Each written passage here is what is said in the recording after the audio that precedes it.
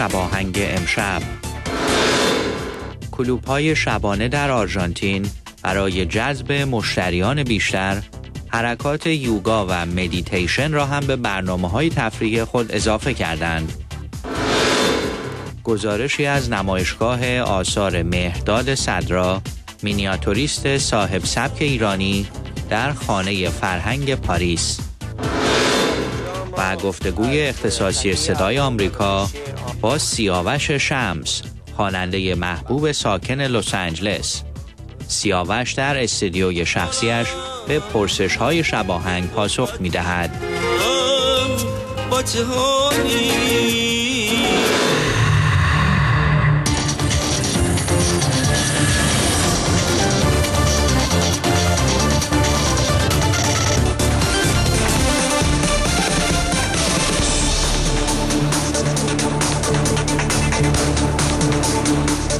با سلام و درود فراوان به شما بینندگان عزیز و ارجمند صدای آمریکا. من بهنود مکری میزبان شما در شباهنگ هستم.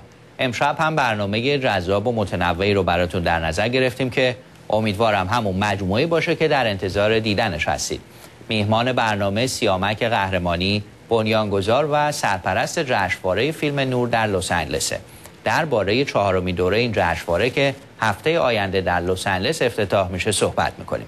از شما عزیزان دعوت می‌کنم تا ثانیه های پایانی با ما همراه باشید. خانم ها آقایان به شباهنگ خوش آمدید.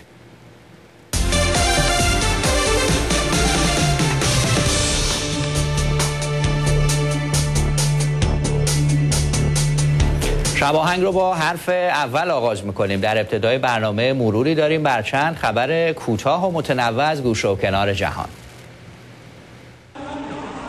حدود 15 هزار نوجوان و جوان فلسطینی آسمان نوار غزه را با بادبادک پوشاندند و رکورد جدیدی در پرواز بادبادک به ثبت رساندند. رکورد قبلی با پرواز 10465 بادبادک در ماه آوریل سال جاری از آن چین بود. آژانس کار و امداد سازمان ملل متحد در نوار غزه این رکورد جدید را تایید کرد. شاهدان عینی و آژانس سازمان ملل می‌گویند گروه خرابکار ساعاتی قبل از پرواز بادبادک ها به مرکز وابسته به آژانس سازمان ملل آسیب رساندند. اما جوانان فلسطینی به رغم این اقدام در این رقابت شرکت کردند. پزشکان کرانه باختری به بیماران مبتلا به دیابت کمک می کنند تا بتوانند در ماه رمضان روزه بگیرند. بر اساس مطالعه‌ای که از سوی انجمن دیابتی های آمریکا منتشر شد، حدود 69 میلیون مسلمان دیابتی در سراسر جهان وجود دارد. این بررسی نشان می دهد که اکثر مسلمانان دیابتی در ماه رمضان روزه می گیرند. پزشکان از دیابتی هایی که روزه می گیرند می خواهند از خوردن مواد غذایی شیرین خودداری کنند. پزشکان می‌گویند میوه و سبزیجات باید جایگزین خوراکی های شیرین شوند. دیابتی ها به جای نوشابه های شیرین باید آب و یا چای مصرف کنند.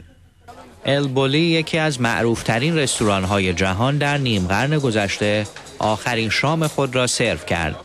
البولی که در استان جیورنای اسپانیا قرار دارد در آخرین شب کاری خود برای کارکنان و خانواده هایشان با غذاهای سه ستاره در ردبندی راهنمای میشلن پذیرایی کرد. البولی تنها شش ماه در سال کار می کرد و به رغم شهرت و لیست های بلند رزرواسیون هرگز سودآور نبود. این رستوران تعطیل شد اما قرار است با سرمایه گذاری 600 تا 800 هزار یورو در سال به یکی از معتبرترین بنیادهای آشپزی جهان بدل شود. و سرانجام اینکه جایزه ویژه جشنواره فیلم سارایوو با آنجلینا جولی هنرپیشه سرشناس هالیوود اهدا شد. میرو پوریواترا مدیر این جشنواره می‌گوید این جایزه ویژه که قلب سارایوو نام دارد نه تنها برای تأثیر آنجلینا جولی در صنعت فیلمسازی بلکه برای نقش مستمرش در کمک به بحرانهای جهان به وی تقدیم شد. جولی سال گذشته چند بار در مقام سفیر سازمان ملل متحد در امور پناهندگان به بوسنی سفر کرد و توجه جهانی را به مشکل 117 هزار پناهنده جلب کرد که پس از 16 سال به رغم خاتمه جنگ نمی توانستند به خانه های خود بازگردند. اما یکی دیگه از دریافت کنندگان جایزه افتخاری جشنواره بین المللی فیلم سارایوو موسوم به قلب سارایوو جعفر پناهی فیلمساز برجسته ایرانی بود. میرساد پوری واترا دبیر جشنواره هنگام اهدای جایزه با آقای پناهی گفت این هنرمند خارق‌العاده با آثارش اهمیت آزادی و خلاقیت هنری رو به ما یادآوری می‌کنه و این چیزی است که جشنواره سارایوو بر اساس اون در سال 1995 راه اندازی شد. جعفر پناهی در نامه ای که برای جشنواره فیلم سارایوو 2011 فرستاده نوشته بلا تکلیفی و انتظار برای نتیجه دادگاه چیزی کمتر از زندان نداره. آقای پناهی در بخش دیگری از این نامه میگه وقتی ساختن فیلم برای یک فیلمساز غیر ممکن میشه زندگی در هر شرایطی به منزله زندانی بودنه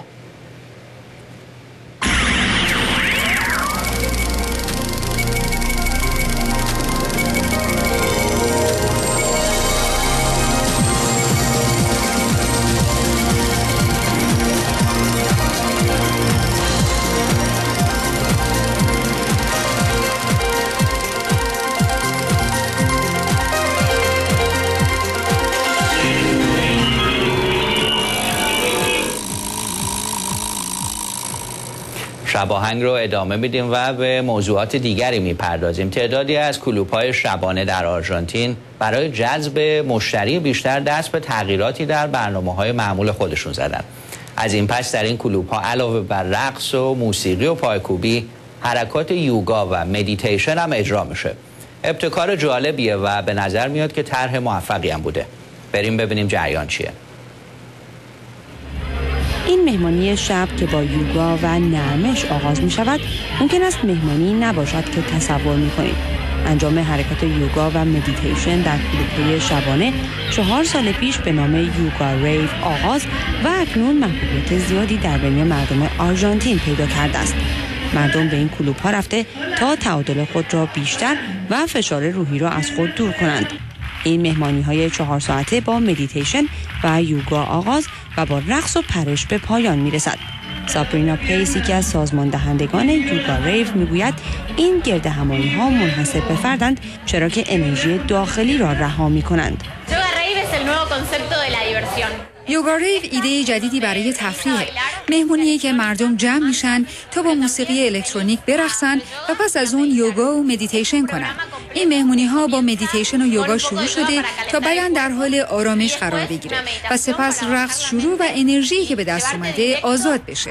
ایده اولیه توسط یک گروه جوان آرژانتینی که عضو بنیاد Art of Living یک سازمان بین المللی بشردوستی هندی هستند ریخته شده است.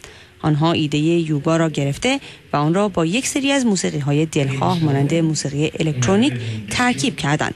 سپس آن را در گرد همایی های خصوصی انجام می‌دادند که بعدها به کلوب های شبانه توسعه یافت در سال 2010 Yoga Rave به قدری محبوب شد که در یکی از تورهای آنها به آرژانتین حدود 2000 نفر شرکت کردند. بابا سورش یکی از مدیران Art of Living می‌گوید این گرد همایی ها درباره تشخیص اولویت ها در زندگی است تا بتوانیم زندگی کامل تری داشته باشیم. این روزا مردم به قدر تحت فشار روحی هستند که انرژیشون رو کاملا از دست میدن.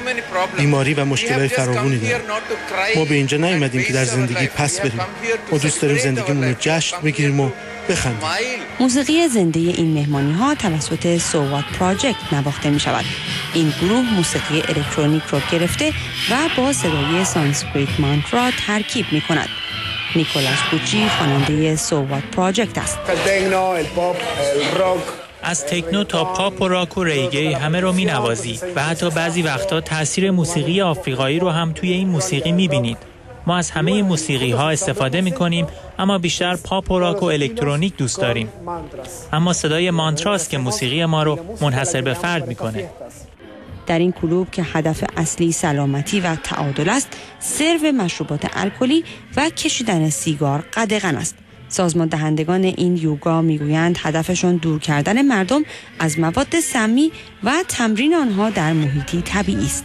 آنها تا کنون بیش از 20 مهمانی در آرژانتین سازماندهی کرده و قرار است توری را به دور اروپا به راه بیاندازند. سهر کرمانشاهی صدای آمریکا.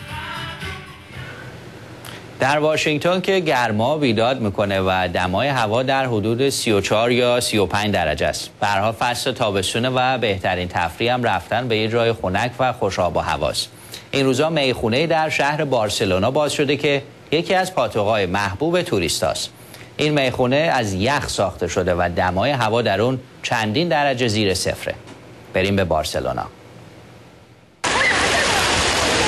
بارسلونا در حال سپری کردن تابستان گرمی است. خیابانهای شهر خالی و سواحلش شلوغ است.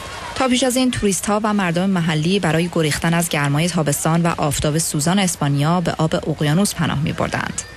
اکنون گزینه جالبتری پیش روی آنها قرار گرفته است. رفتن به یک میخانه یخی. هوای درون آیس بارسلونا منفی 20 درجه سانتیگراد است. مشتریان می توانند با پرداخت ورودی حدود 22 دلار که شامل یک نوشیدنی الکلی نیز می شود به درون آیس بارسلونا راه پیدا کنند. اما پیش از ورود باید شال و کلاه کنند. در درون این میخانه مجسمه های یخی از بناهای شهر قرار داده شده است. ریچارد تنوان یک توریست نیویورکی است که همراه با دوستانش به بارسلونا رفته. وی می‌گوید این سفر برای آنها تجربه تضاد گرما و سرماست.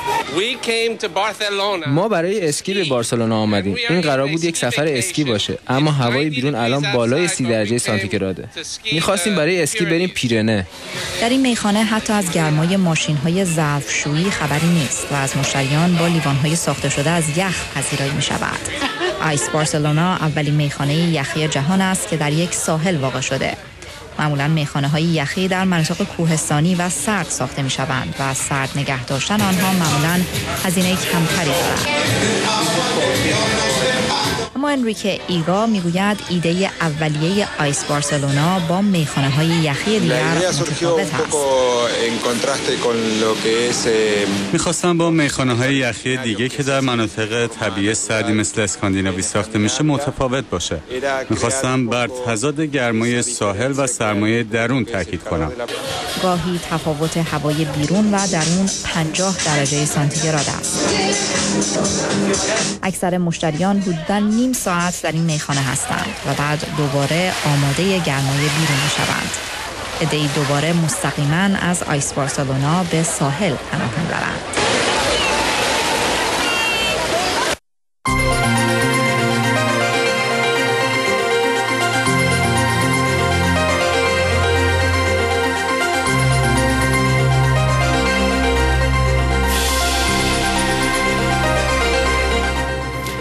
مهداد صدری استاد رشته مینیاتور در دانشگاه اصفهانه. مدتی است که تعدادی از آثار او در خانه فرهنگ پاریس به صورت رایگان در معرض دید دوستداران مینیاتور قرار گرفته. همکارم محمد رضا شاهید سری به این نمایشگاه زده تا گزارش رو برای شما عزیزان تهیه کنه. نگاه می‌کنیم. در خانه فرهنگ و رایزنی سفارت جمهوری اسلامی ایران در پاریس نمایشگاهی از کارهای مینیاتور مهرداد صدری شهرزایی برپاست در لحظه افتتاحیه آقای صدیقی مسئول روابط عمومی توضیحاتی را برای حاضران و خبرنگاران می دهد.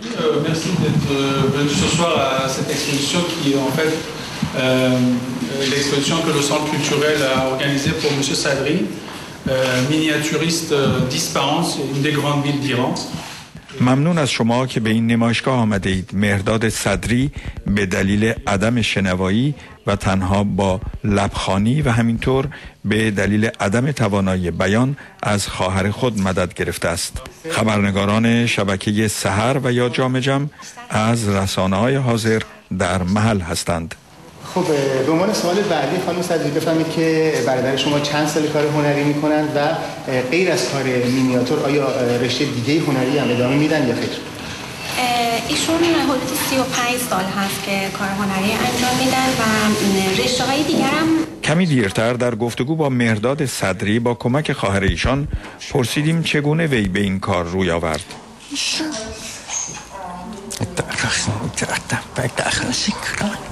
دارم گفتن طراحی رو یکی دو بار که طراحی کردم تشویق شدم به وسیله پدرم و استادم و از اون موقع سبک نقاشی ایرانی رو چون دوست داشتن ادامه دادن.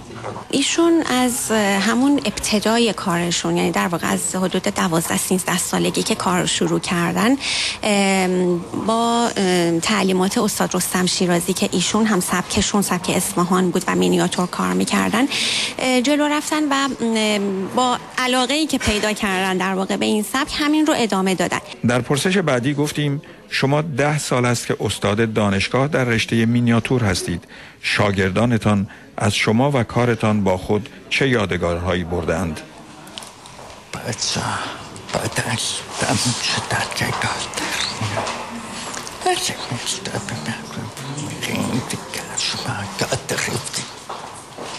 بیان بچه ها بعد از تموم شدن ترم برای من اسمس میدن و تشکر می‌کنن و میگن ما خیلی از شما چیز یاد گرفتیم در طول ترم.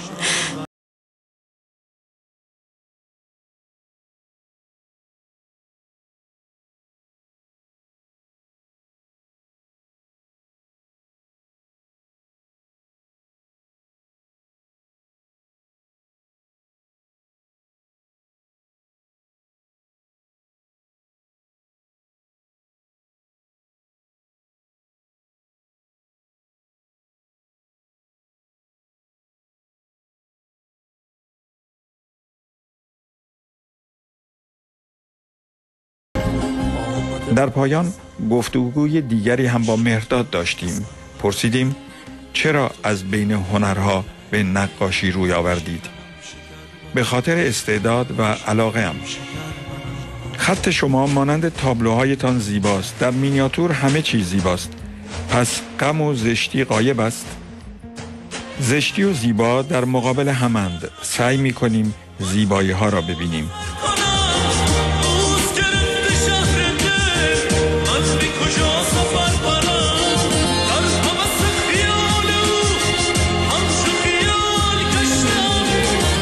پاریس با دوربین لوکاتیا بخش فارسی صدای امریکا. سیاوش شمس یکی از خوانندگان محبوب ساکن لس آنجلس که مطمئنم طرفدارای زیادی در بین شما عزیزان داره. او این روزا بیشتر در استودیو شخصیش کار می‌کنه و به تهیه و تولید آثار مختلف هنری مشغوله. همکارم آرش راد به این استودیو رفته تا گفتگوی رو با این هنرمند محبوب ترتیب بده. این شما و این شما از سیاوش شمس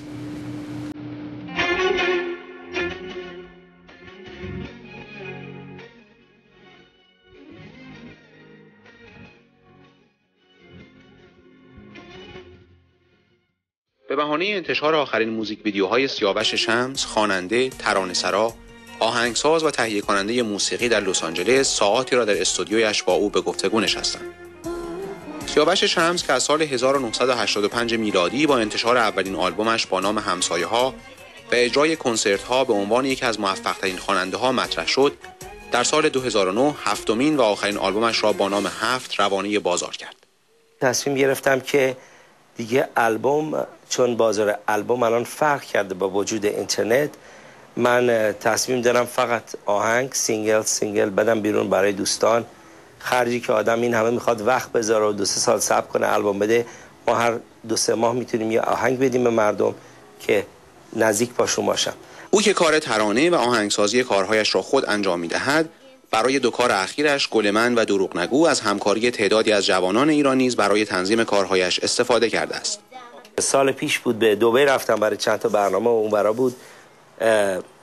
در اواخر که ترکیه و مالزی و عمر رفتم یه حس دیگه حس کردم این بچههایی که من این چند سال خوندم بزرگ شدم و انرژیشون هنوز هست و یادشون نرفته من و کارهای من و من تمام آهنگ و شعرها رو میخوندم من. و این واقعا عشقی به من داد و من از اون موقع تا حالا باور نمی‌کنید 20 تا 30 تا کار جدید دارم که نوشتم که بیشترم می نویسم بیشتر کار می‌کنم چون عشق و علاقه باعث شد که من بیشتر کار کنم.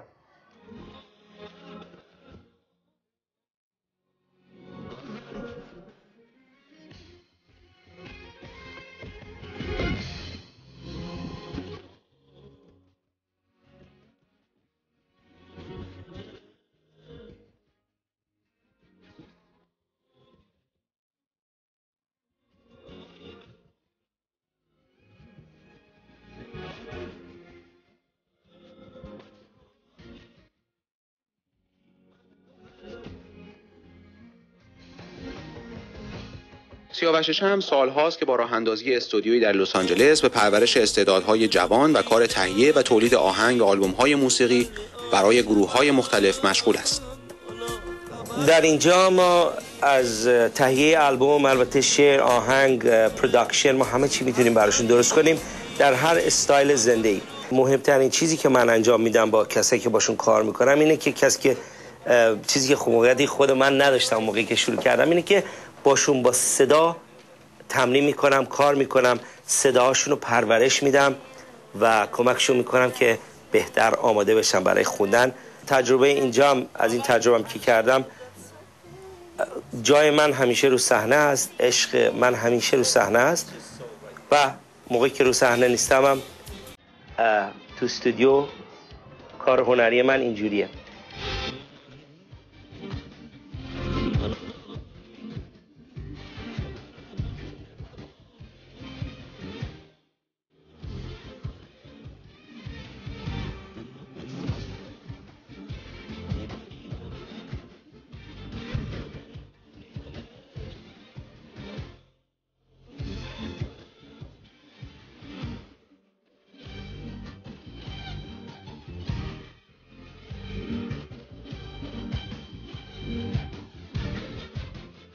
که از جمله خوانندگانی است که با وجود وقفه های طولانی در تولید کارهایش از محبوبیت خاصی در بین علاقمندانش برخوردار است در مورد رابطهاش با آنها می‌گوید شما باید عشق و رشد بدید در خودتون عاشق باشید. مردم اینو می‌خونن. همیشه از ته دل صحبت کردم با شما.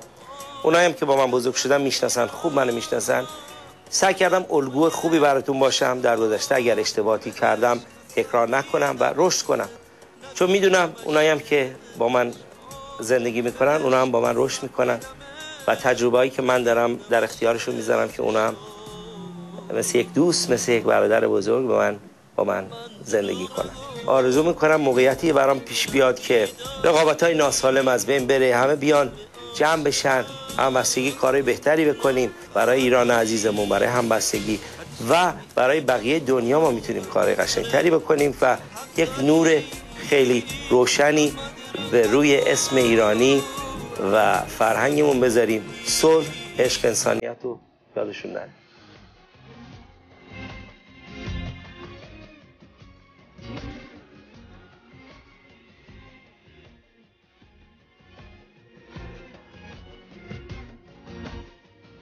خب دوستان عزیز برنامه رو با پخش گزارش های هنری ادامه خواهیم داد اما خبری که همینک به دست من رسید با آگاهی شما میرسونم. لحظاتی پیش باراک اوباما رئیس جمهوری آمریکا مراتب انزجار خود را از اعمال خشونت و سبعیت دولت سوریه علیه مردم خود ابراز داشت. پرزیدنت اوباما با صدور بیانیه ای گفت گزارش هایی که از شهر حما می‌رسد دهشتناک است و نشان دهنده ماهیت واقعی رژیم سوریه است. در بخش دیگری از این بیانیه آقای اوباما گفت بشار اسد یک بار دیگر نشان داد که به هیچ وجه توانایی و تمایلی به پاسخگویی به درخواستهای مشروع مردم سوریه ندارد. البته این بیانیه فرازهای دیگری هم داره به نکات بیشتری هم می‌پردازه که قطعا در بخشهای بعدی خبری صدای آمریکا جزئیات بیشتری از اون رو با آگاهی شما میرسونم. اما به سراغ موسیقی میریم. کریس یانگ خواننده و ترانه نویس جوان موسیقی کانتری در سال 2006 برنده مسابقه استعدادیابی تلویزیونی نشویل استار شد و پس از اون به صورت جدی وارد این حرفه شد. البته سالهای سختی رو هم پشت سر گذاشت تا بالاخره تونست به عنوان یک خواننده جوان خودش رو در عرصه موسیقی مطرح کنه. امروز کریس با آهنگ تومارو یا فردا از آلبوم جدیدش در رأس جدول موسیقی کانتری آمریکا قرار گرفته. به قول معروف خواستن است و توانستن.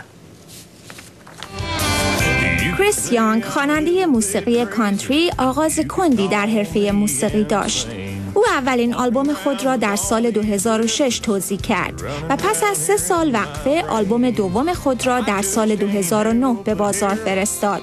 او امروز موفقیت آلبوم سومش نیان را با چهارمین آهنگ شماره یکش تومارو جشن می‌گیرد.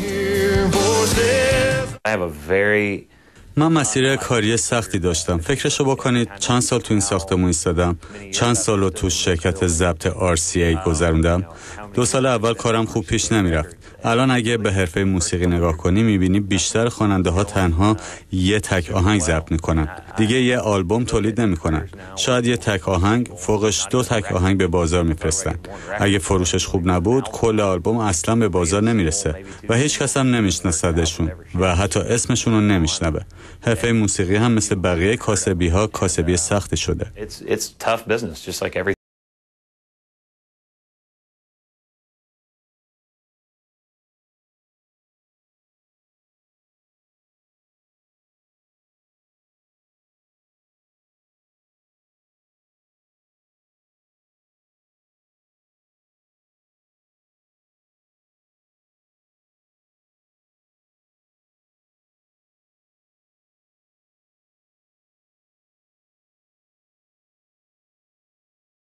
real lucky and that I enjoy everything that's happening right now with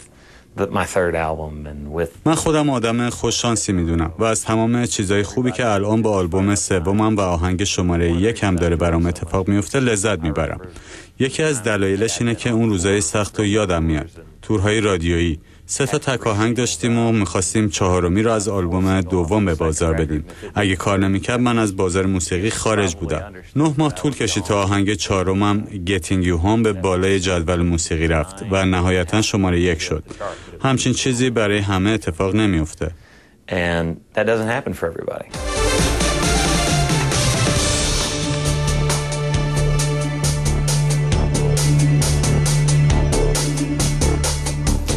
جشنواره سینمایی نور در سال 2005 میلادی در شهر لس آنجلس آغاز به کار کرد. این جشنواره با نمایش آثار گوناگونی درباره ایران و یا معرفی سینماگران ایرانی تلاش می‌کنه به درک بهتر و شناخت بیشتر تماشاگران برومرزی از فرهنگ و هنر معاصر ایران کمک کنه.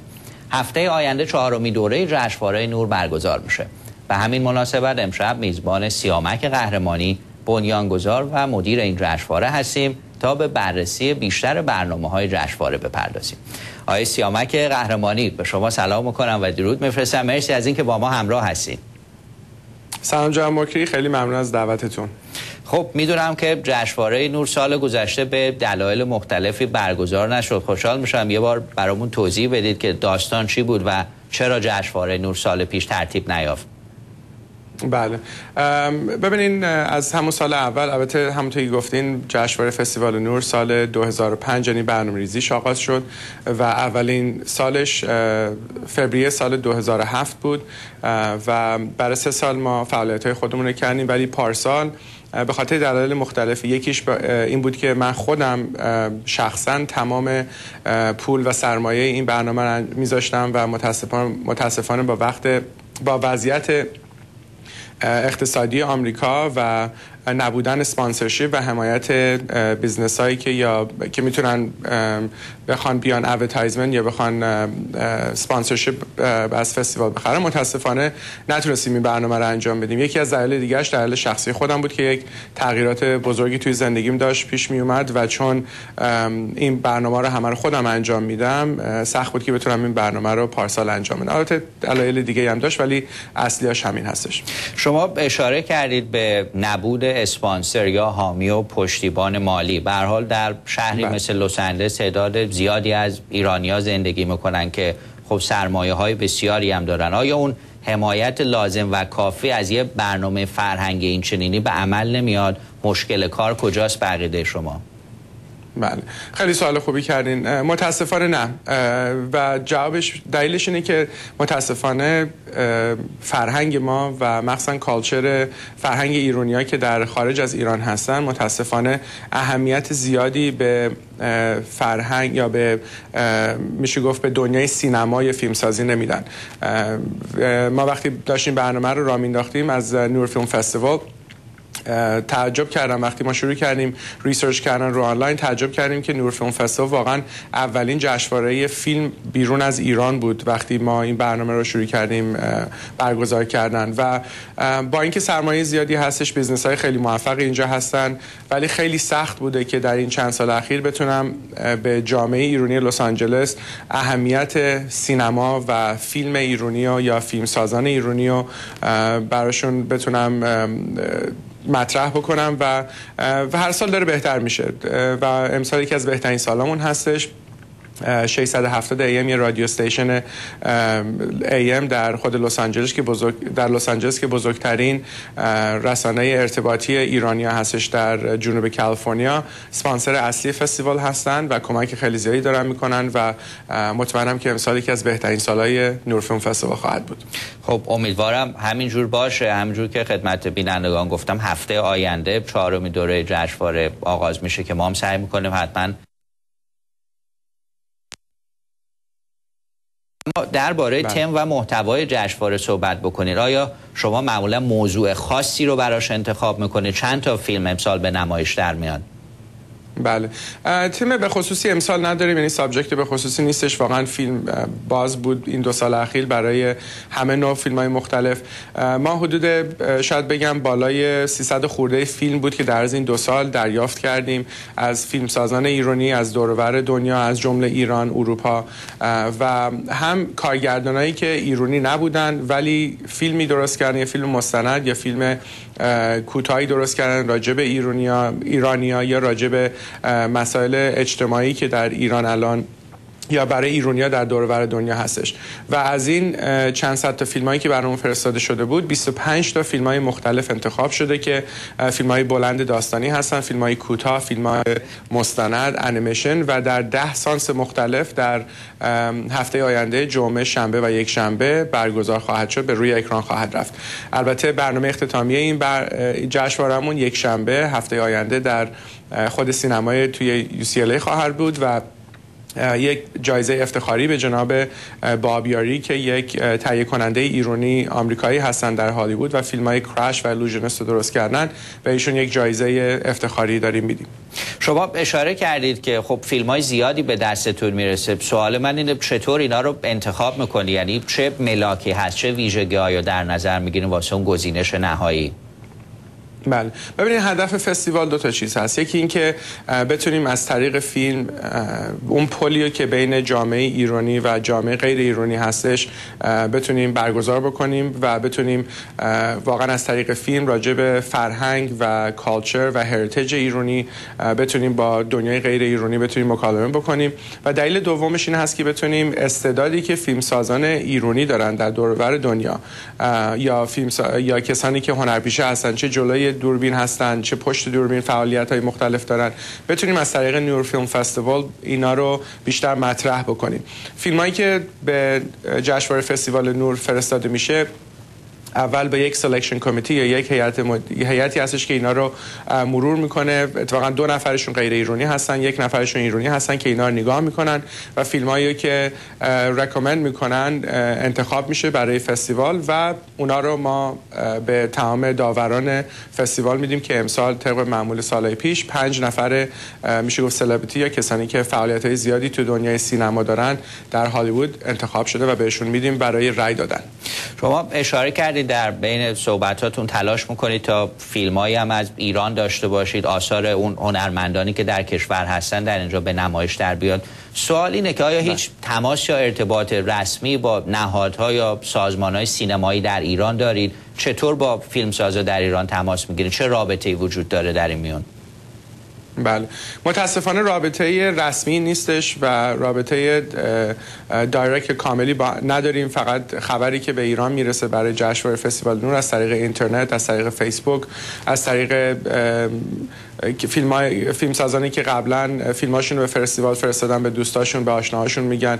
امیدوارم که در آینده بتونیم فعالیت های بیشتری با مؤسسات های مختلفی در ایران داشته باشیم ولی متاسفانه از جلوگیری وزارت ارشاد برای فرستادن فیلم ها به نور فیلم فستیوال نتونستیم اون فعالیتی که واقعا دوست داریم داشته باشیم از خود ایران.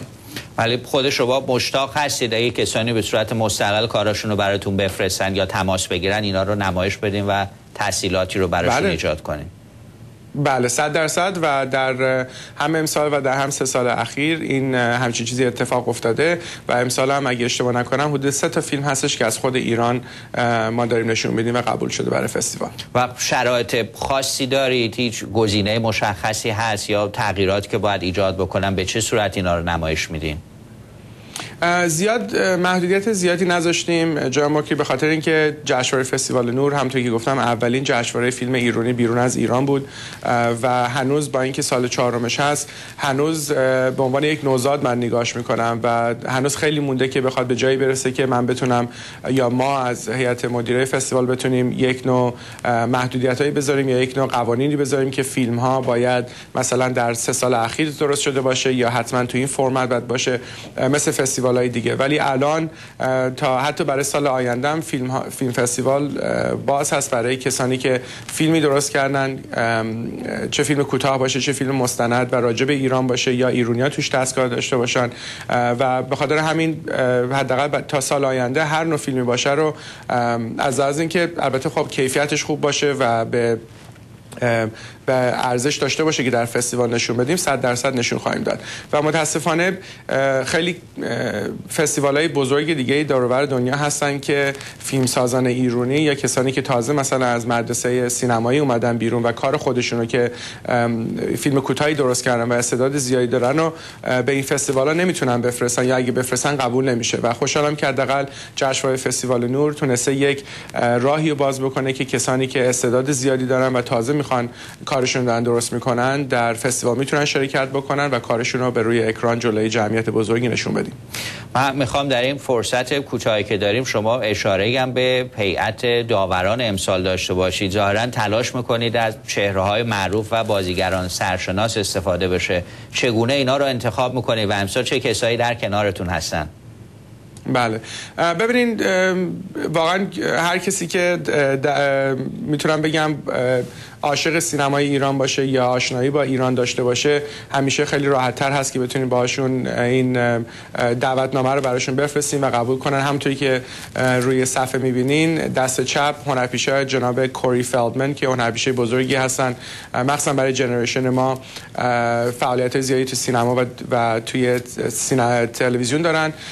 ایشون قبول کردن یکی از داوران امسال باشن جناب کامی اسکر که ایرانی هستن و برای فیلم apocalypto نامزد جایزه اسکار بودن دو سه سال پیش. جناب مکس مارتینی که هنرپیشه تلویزیونی هستن و فعالیت زیادی دارن توی فیلم های جدیدی که داره در میاد از جمله Hobbit. خانم بای لینگ که یک هنرپیشه چینی آمریکایی هستش و خانم فرانسیس فیشر که می‌تونم بگم یکی از بزرگترین هنرمندانی هستش که با جشنواره فستیوال نور بازی کرده و ایشون همسر قبلی خانم جناب ببخشید جناب کلینت ایستوود هستن و توی فیلم تایتانیک نقش مادر کیت وینزلت بازی کردن تو فیلم Unforgiven با کلینت ایستوود و مورگان فریمن و فیلم های دیگه ای که خیلی معروف هست ایشون شرکت کردن. و از اینا دعوت کردیم که در جشنواره فستیوال نور شرکت بکنن. و چون هدفمون این هست که بتونیم واقعا این پل بین جامعه ایرانی و غیر ایرانی بخوایم برگزار بکنیم بله. و ارتباط بیشتری باشه از طریق این هنرپیشایی که چه آشنایی دارن می‌تونیم به هدفمون برسیم. آقای سیامک قهرمانی از شرکتتون در برنامه شباهنگ سپاسگزارم. براتون آرزوی موفقیت می‌کنم و خوشحالم که این جشنواره داره همچنان به فعالیتش در لس آنجلس ادامه میده. خیلی ممنون جناب مکری با سپاس.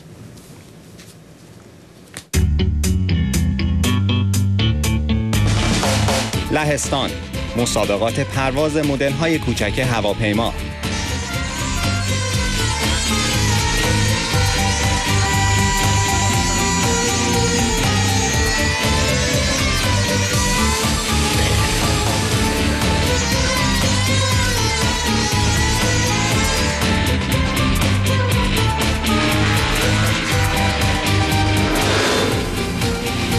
تایلند.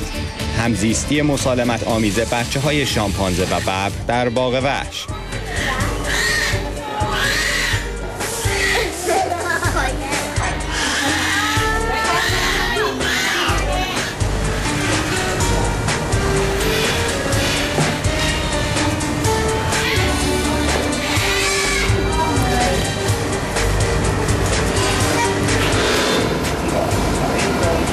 ژاپن.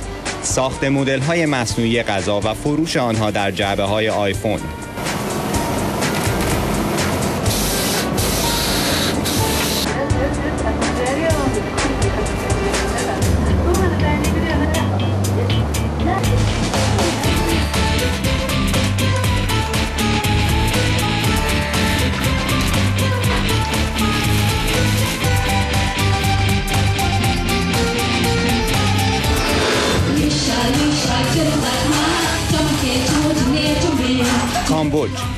حضور اولین خواننده زن در سبک هیپ هاپ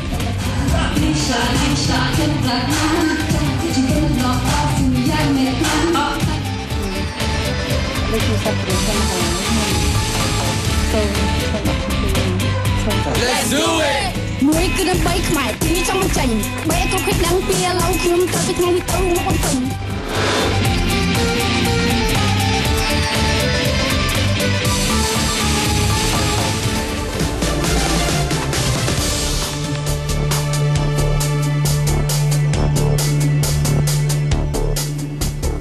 امشب موزیک ویدیویی از ارفان براتون پخش می‌کنیم. اجرای مشترکی با امیر و مرباری ترانه‌ای با نام نخواستیم.